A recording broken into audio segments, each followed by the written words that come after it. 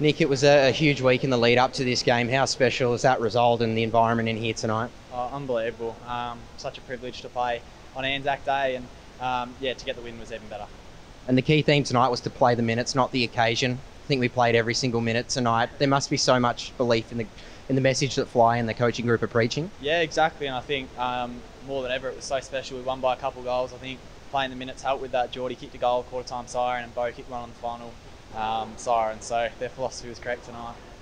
And that crowd was a, a record for Anzac Day matches. Um, they were so loud in that last quarter, especially after you kicked those couple of goals. Do you, do you actually feel that when you're out there? And that, does that urge you on to, to want to do more and, and keep pushing to the last siren? Yeah, you do. It sort of goes into white noise in a way. Just um, it's an amazing feeling, and yeah, the crowd goes absolutely ballistic. Ninety-five thousand today was awesome um, to celebrate such a special day.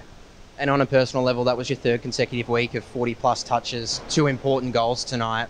Um, can you talk to, I guess, some of the people around you that have had a big impact on, on getting you into this type of form? Um, firstly, yeah, my family have been massive for me. Dad, Josh, um, my sister and my mum, my girlfriend's been um, there by my side the whole time, Marlette, which has been uh, very special for me. And then inside the four walls, um, the coaches have given me so much confidence. I work closely with um, pretty much every individual coach as I play across the field. And then I'm not going to single out any players because I could go through the whole list and say how they help me. It's just every single player helps one another, and I think that's the system I got going, which is amazing.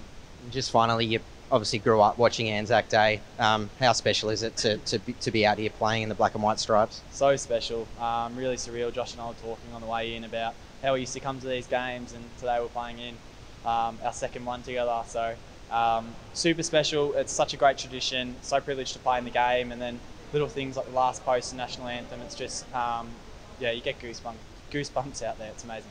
Fantastic, Nick. Congratulations. Awesome job and enjoy the win. Thanks, guys.